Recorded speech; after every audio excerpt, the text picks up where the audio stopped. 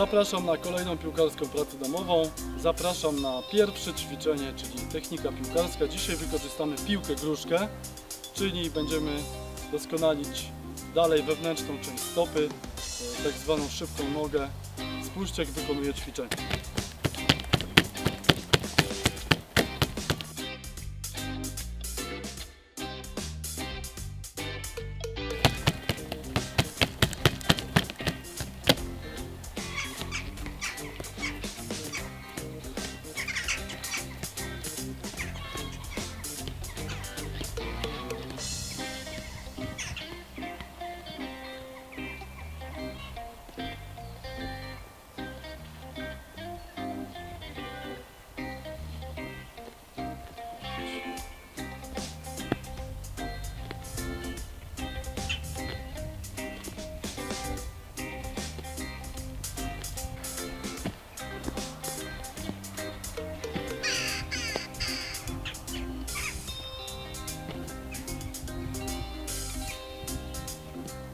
Trzecia część piłkarskiej pracy domowej, czyli psychologia sportu.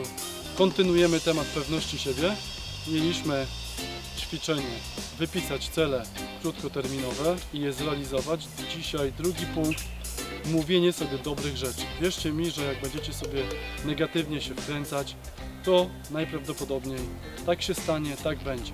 Czyli ćwiczenie następne. Mówicie sobie dobre rzeczy uda mi się strzelić celnie, uda mi się podać celnie, będę grał drużynowo i możecie sobie dopisywać kolejne dobre rzeczy.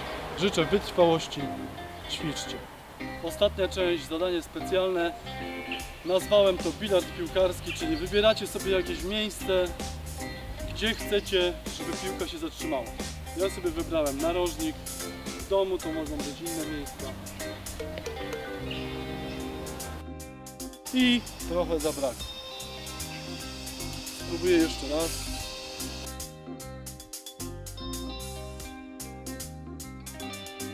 Rozluźnijcie się na koniec. Spróbujcie sobie zrobić taką zabawę. Bilard piłkarski. Życzę wytrwałości i do zobaczenia w następnych piłkarskich pracach domowych.